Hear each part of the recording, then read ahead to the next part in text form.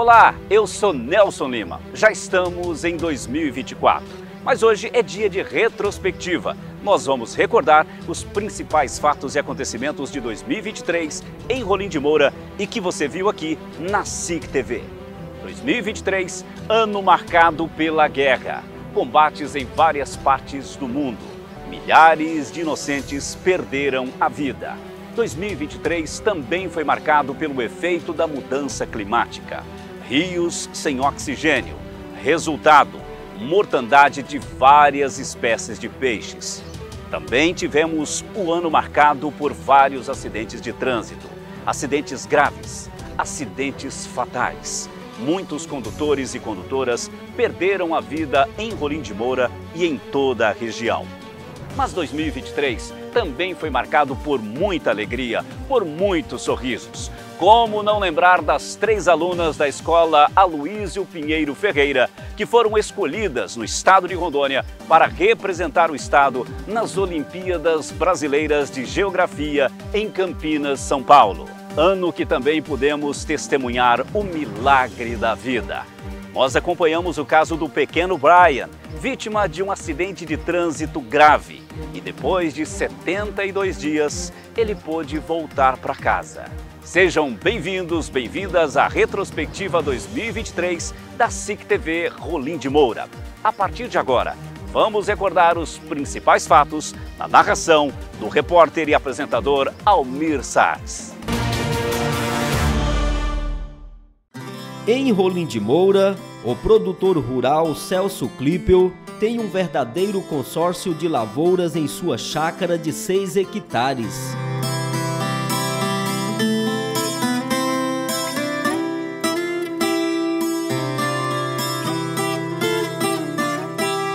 Cacau, por exemplo, se tornou em pouco tempo um dos principais cultivares de Celso. Com muita experiência no cultivo da lavoura e adquirindo ainda mais no dia a dia, Celso garante que o resultado é rentável, desde que os cuidados com o plantio sejam aplicados de forma correta.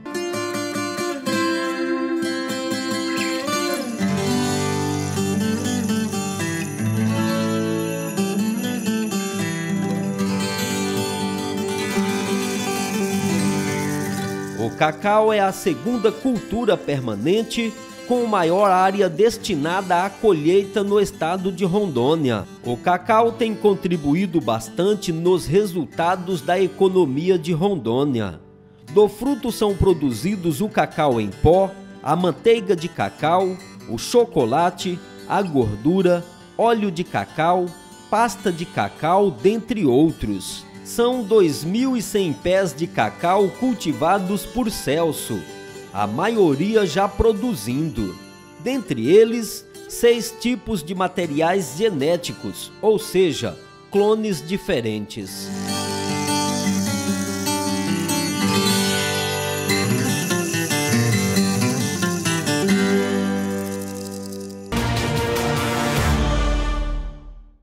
Ivo Geller, de 59 anos, da Lano da Amazônia, morreu em um hospital de Cacoal onde estava internado após sofrer um grave acidente de trânsito. O acidente aconteceu na manhã da última quinta-feira, dia 25 de maio, quando o empresário Ivo Geller trafegava aqui pela Avenida 25 de Agosto em uma caminhonete e perdeu o controle da direção e atingiu aquela árvore que fica ao fundo, na rotatória, na chegada da cidade. Devido ao forte impacto na árvore, Ivo foi socorrido até a UPA de Rolim de Moura por uma equipe de resgate do Corpo de Bombeiros, mas seu estado de saúde era muito delicado e Ivo foi transferido para um hospital em Cacoal, onde passou por cirurgias mas infelizmente não resistiu e morreu em virtude da gravidade dos ferimentos. Ivo Geller era um empresário bem-sucedido do ramo de madeireira. O Rolim de Moura Esporte Clube ficou fora dos gramados aproximadamente 10 anos, sem disputar campeonato estadual junto à Federação de Futebol Profissional do Estado de Rondônia, FEFER, e retomou suas atividades se apresentando ao público rolimourense em um amistoso entre ex-jogadores e empresários da cidade, no estádio Cassolão. O amistoso de apresentação ficou com o placar de 3 para o time dos ex-jogadores do Rolim Esporte Clube e 2 para os empresários. O Rolim Esporte Clube foi fundado dia 4 de novembro de 2002 e retorna suas atividades ao quadro da Federação de Futebol do Estado de Rondônia para as disputas dos campeonatos estaduais. A 15ª edição da Copa Aspociron da Polícia Civil de Rolim de Moura teve início no dia 6 de maio e sua final ocorreu no último dia 17 de junho. O primeiro jogo da final, a busca do terceiro lugar, foi entre Grêmio Planalto Morcegão versus JK. No tempo normal ficou no empate de 1 a 1. Na disputa nos pênaltis, Grêmio Planalto Morcegão ganhou de 7 a 6 de JK. Em seguida, o jogo de encerramento da competição foi a busca do primeiro lugar. A equipe do Sabão de Migrantinópolis foi a vencedora, ganhando de 1 a 0 de Maxcar Mapping. Ao todo, 10 equipes participaram da competição, aproximadamente 200 jogadores inscritos, sendo 20 jogos realizados com 77 gols marcados. Todas as equipes finalistas receberam troféu. O primeiro colocado ganhou 5 mil reais, o segundo 3 mil, o terceiro 2 mil e o quarto colocado mil reais.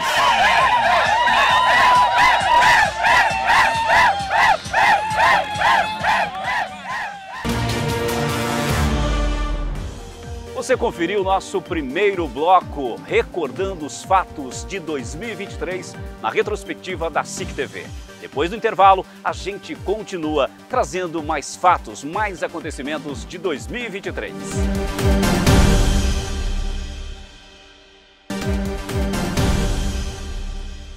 Já estamos de volta. Você está assistindo aqui na SIC TV, canal 18.1, a retrospectiva 2023. Continuamos agora com a narração de Almir Satz, trazendo os principais fatos, os principais acontecimentos de 2023. O renomado escultor rolim-mourense Messias Alves de Souza morreu no dia 21 de junho de 2023 aos 47 anos de idade.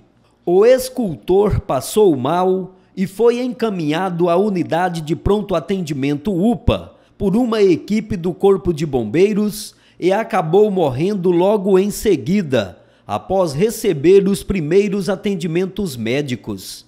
Messias Alves, com seu jeito simples e um talento único, conquistou um grande público por meio de seu trabalho como escultor. O artista ganhou fama e ficou conhecido por produzir esculturas de animais da floresta amazônica, de desenhos animados e religiosas, dentre tantas outras. Messias Alves deixou quatro filhos, amigos e um extenso legado de obras artísticas em Rolim de Moura e em diversos estados do Brasil. Um disparo de arma de fogo de forma acidental resultou na morte de Marcos Luiz da Silva, de 35 anos. Trata-se de uma arma calibre 22. O fato ocorreu na Vila Bosco, município de Alto Alegre dos Parecis. Marcos foi atingido na região torácica no momento que recebia a arma das mãos do próprio filho, que acabou disparando de forma acidental. A vítima não resistiu e morreu no local. Informações repassadas à polícia são de que Marcos estaria de saída para uma caçada quando ocorreu o acidente. A criança de 10 anos entrou em desespero ao ver o pai ser atingido pelo disparo e nada pôde fazer para salvar. O caso foi registrado na delegacia de Santa Luzia do Oeste. O pecuarista Garon Maia, de 49 anos, e o filho Francisco Veronese Maia, de 11, são as vítimas que estavam no avião bimotor que saiu do aeroporto de Vilhena, interior de Rondônia, com destino a uma fazenda em Comodoro, no Mato Grosso, e sumiu do radar logo após a decolagem. O Corpo de Bombeiros foi mobilizado pouco tempo depois da aeronave desaparecer. Porém, os destroços só foram encontrados no dia seguinte, em uma região de floresta, na divisa de Rondônia, com o Mato Grosso, conhecida como Cachoeira das Cavernas. Os corpos das vítimas foram encontrados nas proximidades.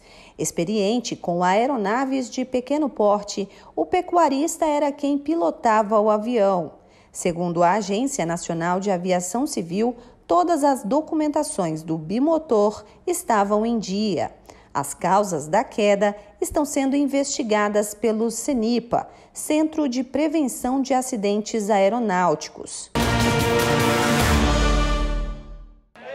Foram quatro jogos durante a final da 23ª edição da Copa Tiradentes do 10 Batalhão da Polícia Militar de Rolim de Moura.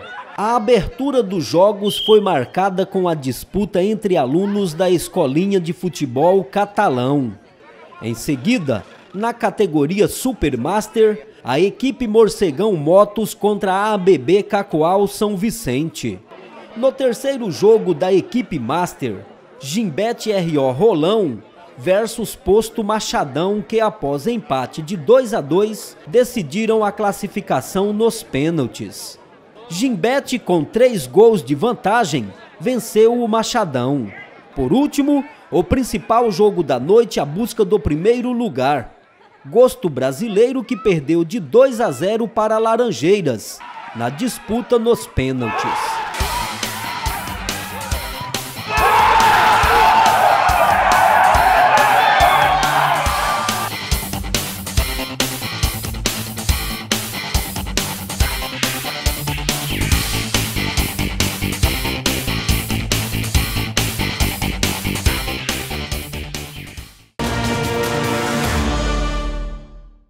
Foram pelo menos 17 fardos apreendidos com droga.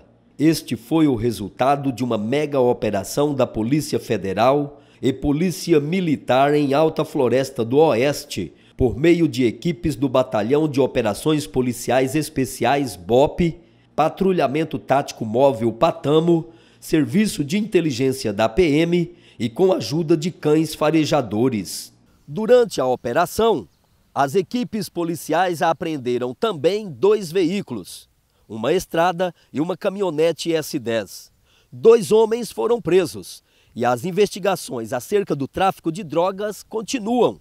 A busca de novos envolvidos no crime. O desfile de 7 de setembro em Rolim de Moura, organizado pela Secretaria Municipal de Educação e Cultura, SEMEC, aconteceu na tarde desta quarta-feira na Avenida João Pessoa, nas proximidades dos poderes executivo e legislativo, e atraiu um grande público.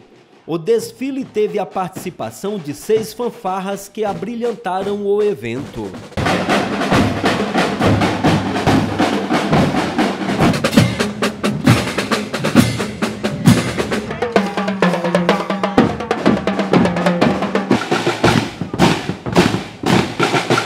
Com vários temas apresentados durante o desfile, as escolas da rede municipal e estadual, por meio de seus alunos, professores e várias instituições desfilaram ao público. Além das fanfarras, foram várias apresentações das forças de segurança pública, Polícia Militar, Polícia Penal e do Corpo de Bombeiros. A data foi oficialmente celebrada às margens do rio Ipiranga, no dia 7 de setembro de 1822, quando surgiu o grito da independência por Dom Pedro I, pela tão amada terra chamada Brasil. Assim, há 201 anos, o Brasil rompeu sua ligação com Portugal e consolidou-se como nação independente. Por causa da pandemia, o desfile cívico do Dia da Independência não acontecia há dois anos no município. Você está assistindo a Retrospectiva 2023. Nós vamos fazer um intervalo comercial.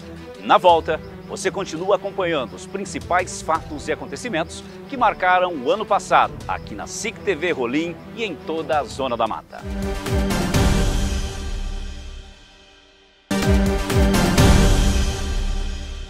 Voltamos com a Retrospectiva 2023. Continuaremos agora com os principais fatos que marcaram o ano passado, com a narração de Almir Satz.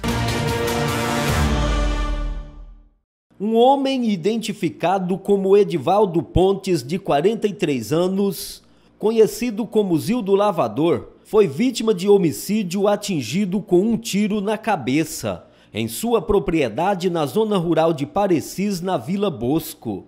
Edivaldo estava realizando a manutenção na carroceria de seu caminhão quando foi morto. A vítima estava trabalhando em sua propriedade quando foi surpreendida pelo atirador, que de arma em punho e a curta distância efetuou um disparo em sua cabeça. O homem morreu na hora. De acordo com a perícia, Edivaldo foi atingido por um disparo de espingarda. Edivaldo estava sozinho no sítio e só foi encontrado por uma pessoa que, ao chegar para trabalhar na propriedade, se deparou com o ocorrido e chamou a polícia. Zil, como era conhecido, tinha seu sítio na Vila Bosco, em Parecis, e era de uma família pioneira na cidade de Santa Luzia do Oeste. Vários pacientes que estavam em um ônibus da Secretaria Municipal de Saúde do município de Rolim de Moura, que realizam tratamento de ressonância magnética em Vilhena, passaram por um grande susto. O motorista do ônibus perdeu o controle da direção e saiu da pista na RO 010, próximo à cidade de Pimenta Bueno. O ônibus estava retornando para a cidade de Rolim de Moura e não se sabe quais foram as circunstâncias que levaram o motorista a perder o controle. Embora tenha saído da via, por sorte não tombou, o que poderia ter sido bem pior. O corpo de Claudinei Mangarotti Lourenço, de 27 anos, foi encontrado na manhã da última quarta-feira em um travessão que liga a linha 188 a 184, próximo a uma torre de telefonia rural. A princípio, a perícia não constatou nenhuma marca de violência no corpo de Claudinei. O laudo do médico legista deverá apontar a causa da morte. Claudinei Mangarotti era morador da linha 188 Sul. Uma ocorrência de furto foi registrada na Unisp de Rolim de Moura após um homem relatar que seus pais, que moram no bairro Olímpico, foram vítimas do crime. O casal de idosos acabou recebendo a visita de um criminoso que se apresentou como sendo servidor público da prefeitura de Rolim de Moura e disse para o casal que foi enviado até sua residência para fazer o cadastro de baixa renda referente à fatura de energia. Aproveitando a inocência dos idosos, o criminoso solicitou alguns documentos que foram disponibilizados imediatamente. E após um bom tempo de conversa, ele pediu para que o idoso fosse até a uma copiadora fazer cópias de alguns documentos. Neste intervalo, ele ficou sozinho com a idosa e pediu para que o ajudasse segurando algo enquanto faria a medição do consumo de energia. Enquanto isso, adentrou a residência dos idosos e furtou uma corrente em ouro, dois anéis, um par de brinco e um cartão da Caixa Econômica e fugiu antes do idoso chegar com as cópias dos documentos. No registro de ocorrência, consta que foram sacados da conta bancária do idoso mais de 5 mil reais.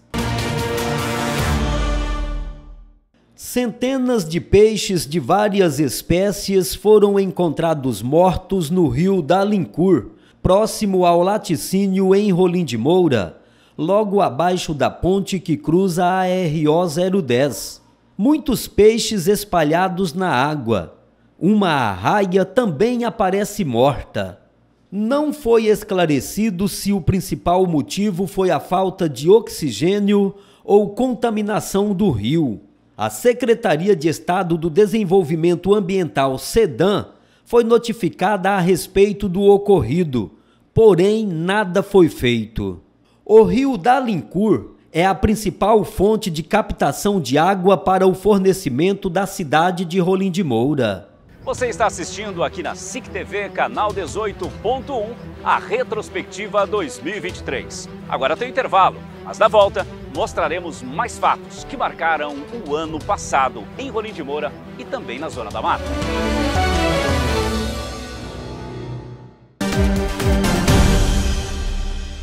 A partir de agora, você continua com a narração de Almir Satz a acompanhar os fatos marcantes que você viu aqui na SIC TV.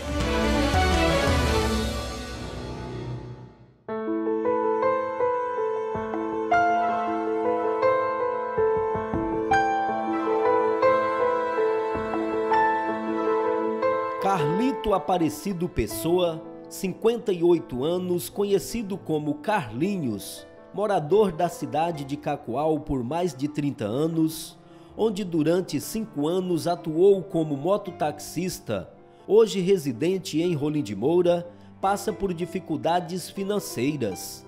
Carlito sofre de uma doença rara por nome de hidradenite e não tem condições para fazer o tratamento e enfrenta um verdadeiro drama em sua vida, enquanto aguarda o tratamento pelo SUS. Carlito disse que tentou tratamento em Campo Grande e em Manaus, onde ficou oito meses, mas não teve resultado positivo. A hidradenite supurativa crônica é uma doença inflamatória de pele caracterizada por nódulos e caroços que aparecem com frequência, seja nas axilas, mamas, nádegas, regiões genitais e outras, de causa desconhecida. O tratamento depende da gravidade, mas pode incluir cremes, antibióticos, outros medicamentos e, no caso de Carlito, também foi indicado o tratamento cirúrgico. A cirurgia custa em torno de 120 mil reais, devido à necessidade de acompanhamento de um ortopedista. Carlito vem buscando o tratamento gratuito. Por meio da Defensoria Pública do Estado, ele conseguiu uma consulta com dermatologista na cidade de Cacoal. Carlito e a esposa são aposentados, mas o que recebem no momento não é suficiente para se manter. Eles são responsáveis por duas netas, uma de 5 e outra de 8 anos. Um jabuti que foi atropelado na RO 010 no município de Rolim de Moura foi resgatado com graves ferimentos após ter o casco dilacerado. Passou por cirurgia para reconstituição e conseguiu sobreviver. O animal foi encontrado em estado crítico e imediatamente encaminhado aqui para a clínica do médico veterinário Rafael Godoy, que auxilia no tratamento de animais silvestres quando resgatados. O médico veterinário realizou um raio-x no corpo do animal e não constatou nenhuma fratura em seus membros. E, para sua surpresa, a jabuti está prestes a desovar. Após o tratamento cirúrgico, o réptil deve ser encaminhado a um local que possua um CRAS, Centro de Reabilitação de Animais Silvestres, com estrutura adequada para recebimento e atendimento médico veterinário, até que possa ganhar sua liberdade na natureza. A Polícia Federal deflagrou no último dia 26 de outubro a Operação Fake Plan, no combate ao desmatamento ilegal em Rondônia e Acre, com a finalidade de desarticular um grupo especializado na falsificação de documentos públicos, utilizado para dar aparência de legalidade à madeira extraída de forma ilegal.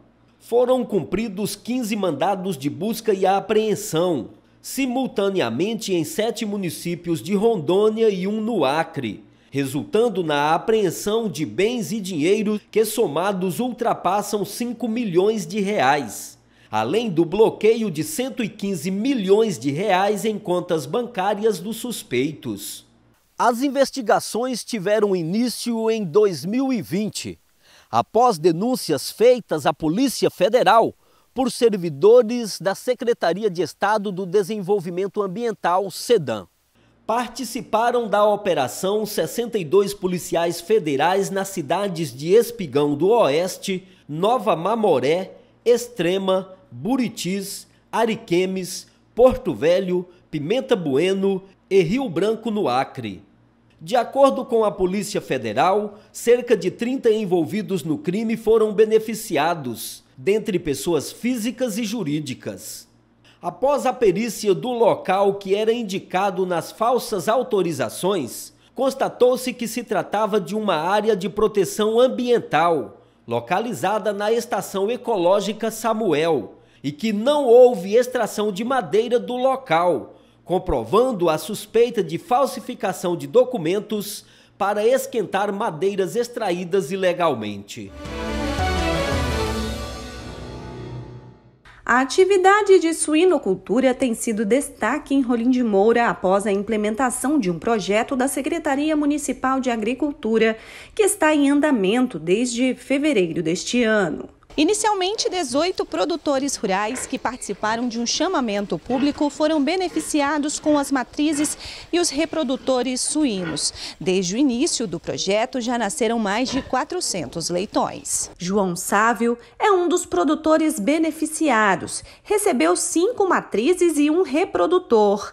Ele conta que sempre teve interesse na atividade e viu no projeto uma grande oportunidade. Inicialmente, o objetivo é atender toda a demanda comercial do município, que tem um frigorífico de abate de suínos. A Olimpíada Brasileira de Geografia é uma competição muito disputada, aberta para alunos do nono ano do Fundamental ao ensino médio de todo o Brasil.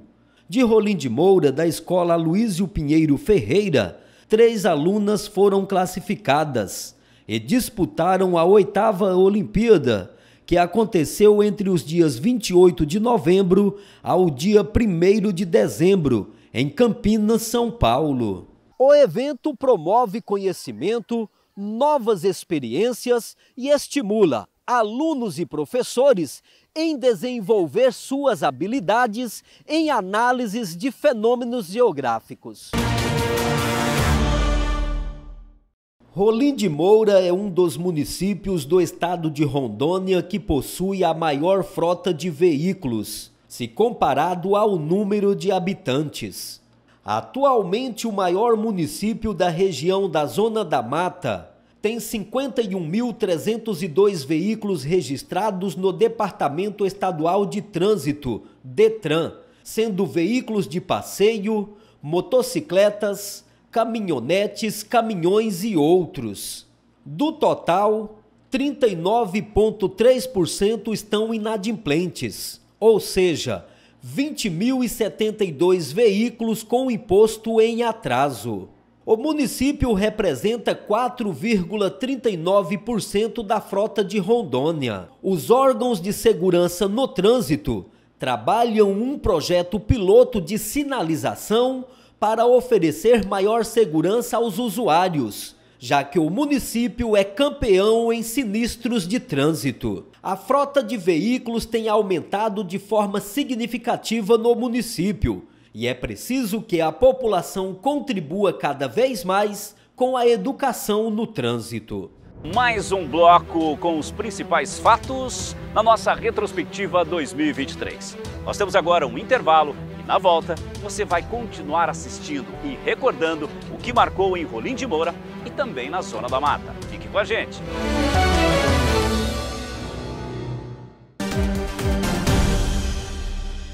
Estamos de volta, diretamente aqui da Praça do Bosque, em Rolim de Moura, para acompanharmos o último bloco de notícias de acontecimentos do ano de 2023. Acompanhe.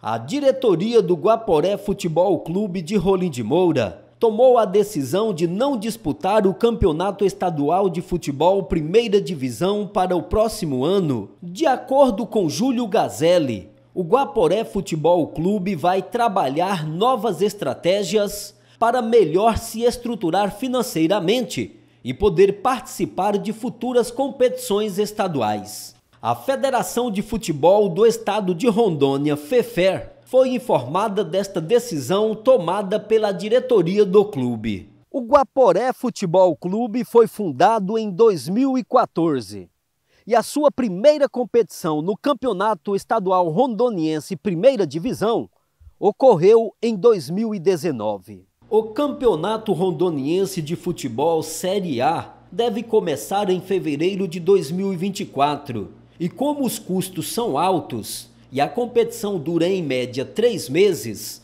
o clube sem patrocínio não consegue se manter na competição. Durante a última semana do mês de novembro, nove assessores da Câmara Municipal de Rolim de Moura foram a Porto Velho e cinco vereadores a Brasília, com diárias pagas pelo município e os valores gastos com as respectivas diárias dos servidores foram altos e não agradou a população. De acordo com o presidente da Câmara, Sidney Fortunato, os vereadores estiveram em Brasília para participar de um curso sobre crise de arrecadação nos municípios, causas e consequências e soluções, dentre outros e, consequentemente, a busca de recursos junto a alguns deputados federais para que sejam investidos no município. O valor pago pela diária do servidor é constitucional. Nos últimos dias, a Câmara Municipal de Rolim de Moura tem sido alvo de muitas críticas por parte da população, como também bastante anunciada pela mídia local. O fato é que houve a apresentação aqui em plenária para a elevação dos salários dos vereadores de 7.868 para 13.909, um aumento de 77%. Logo em seguida, foi apresentado aqui na Câmara o auxílio alimentação para cada parlamentar de R$ 1.650. Em seguida, viagens de parlamentares e assessores para a capital Porto Velho e Brasília, sendo que para Porto Velho a diária de cada assessor há um custo livre de 600 reais. Já dos parlamentares para a Brasília, de 1.200 reais. Somadas as diárias dos assessores e dos vereadores durante os cinco dias, o valor é de R$ 57 mil. Reais sendo 27 mil dos assessores e 30 mil dos vereadores. Os vereadores que foram a Brasília são Sidney Fortunato, Claudinho da Cascalheira, Eliomar Monteiro, Valtão da Obra e Renatão do Frigorífico.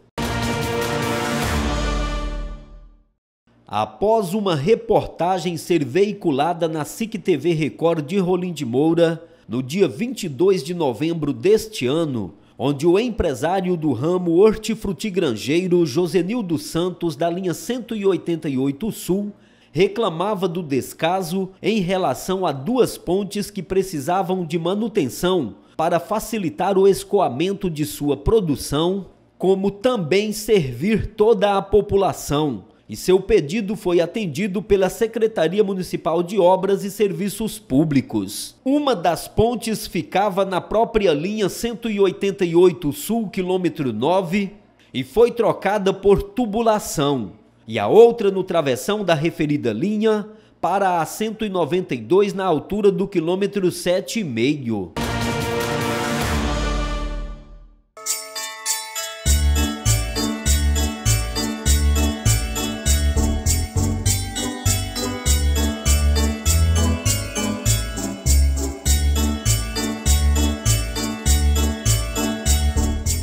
Entrega de presentes do Natal Solidário em Rolim de Moura foi espetacular. Esta foi a quarta edição do Natal Solidário e pelo menos 270 cartas escritas por alunos da escola Dinisfate com pedidos de presentes para o Natal foram adotadas.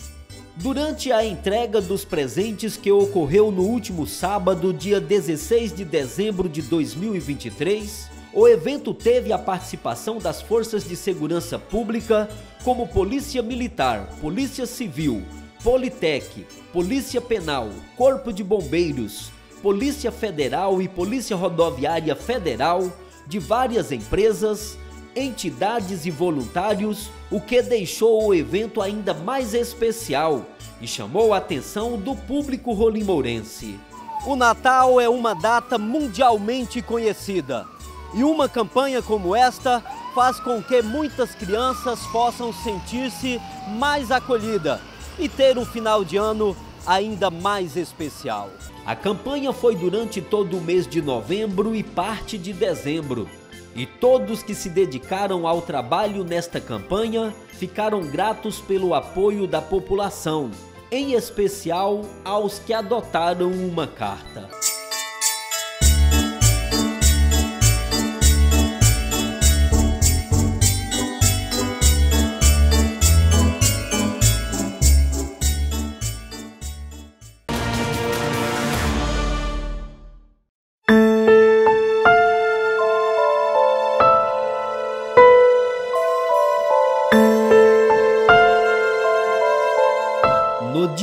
7 de outubro, um gravíssimo acidente de trânsito ocorrido na RO 479, próximo ao aeroporto, envolvendo duas caminhonetes, resultou em várias vítimas, dentre elas Paola Loredo de Souza, de apenas 5 anos, que sofreu fraturas no ombro e teve hemorragia interna, onde ficou 21 dias internada sendo que 19 na UTI, e um menino identificado como Brian Gabriel Heller, de 8 anos que sofreu traumatismo craniano. Brian ficou 72 dias internado no Hospital Regional de Cacoal, a maioria em coma induzido, onde passou por diversos procedimentos cirúrgicos. Brian completou nove anos no dia 22 de novembro no leito do hospital. Era por volta das sete horas da noite quando aconteceu o acidente e envolveu uma caminhonete Hilux conduzida pelo pai de Brian, que estava sentido a BR-364, e uma S10 que estava sentido a Rolim de Moura, quando ocorreu a colisão frontal. O impacto foi tão forte que a S-10 que estava transportando um barco em um reboque partiu-se ao meio. No veículo estava o condutor, a esposa e sua filha Paola, que ficou em estado grave. Já a Hilux era ocupada pelo pequeno Brian, seu pai, mãe e outras duas pessoas da família. Foram momentos de muita angústia, mas também de muita esperança.